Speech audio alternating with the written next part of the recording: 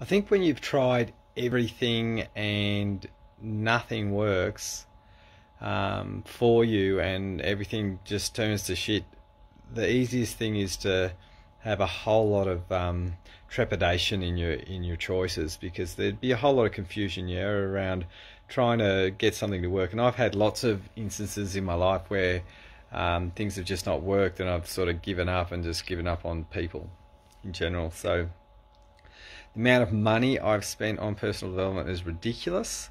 Uh, it's it's gone in my favor in lots of ways. So I think what we do is that we've got to learn to uh, try and find the right people because I used to be the guy, or I still am the guy, that would find the answers to the solutions that people couldn't find. You know, I did this with a lovely lady uh, just recently, uh, and I was talking to her about her hesitation and what I saw in her, um, because I'm a little bit psychic, um, I saw the fact that she actually, uh, I saw a vision of her with a, a cup um, with no money in it, begging for um, for money, and um, and that's what I saw her in with her want to create something for herself.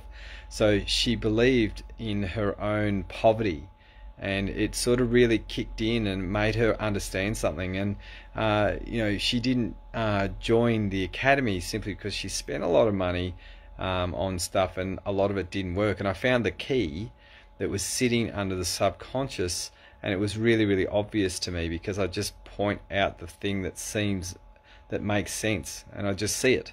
So when you're in that place when you give up, I used to be the guy, I still am the guy that just finds the thing that can't be found and that's what I'm renowned for in the academy is doing and connecting with the the pieces that are lost.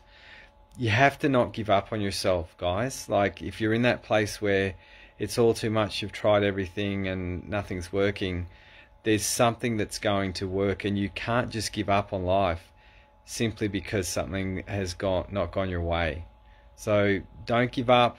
You have to keep trying things and just around that corner, and I say this to people in the academy, just when you are about to open the door to transformation and change, you could turn your back on yourself. So keep trying things, keep trying finding the right people to help you, and make sure you never give up on life because your soul is yearning for growth, it's yearning for change, and it's yearning for you to be living the journey of transformation. That's why we're here. So uh, life's not a picnic. So we've got to learn to figure out how to sit in that picnic and uh, and eat the eat the eat the food that we've been given and figure out how we make a choice to um, digest it better. All right, have an awesome day, guys.